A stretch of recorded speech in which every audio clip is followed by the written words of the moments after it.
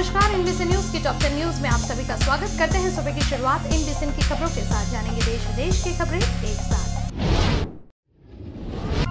दिल्ली शराब नीति, Rauch Avenue court में सुनवाई 17 फरवरी तक चली। भारत जोड़ो यात्रा में शामिल हुई अभिनेत्री उर्मिला मातोंडकर। राहुल गांधी के साथ आई नज़र। मुंबई एयरपोर्ट पर दो दिन में सीज हुआ ढाई किलो सोना, नब्बे हज़ार करेंसी भी हुई बरामद। बागेश्वर धाम के धीरेन्द्र शास्त्री फरवरी में जाएँगे प्रयागराज। वीज़ा में जाएँगे दरबार।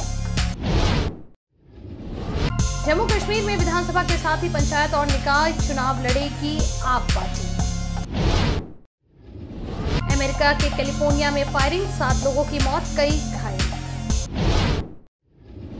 मिस्र के राष्ट्रपति आज भारत जाएँगे। गणतंत्र दिवस के अवसर पर होंगे प्रमुख अतिथि।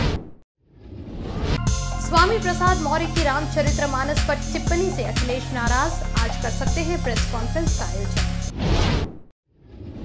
जयपुर इंटरनेशनल एयरपोर्ट पर छप्पन लाख रुपए के गोल्ड के साथ दो तस्कर हुए गिरफ़्तार। और फ़िल्म पठान के साथ लौटेगी सिनेमाघरों की रौनक। खुलेंगे 25 थिएटर बॉक्स ऑफ़िस पर मचेगा धमाल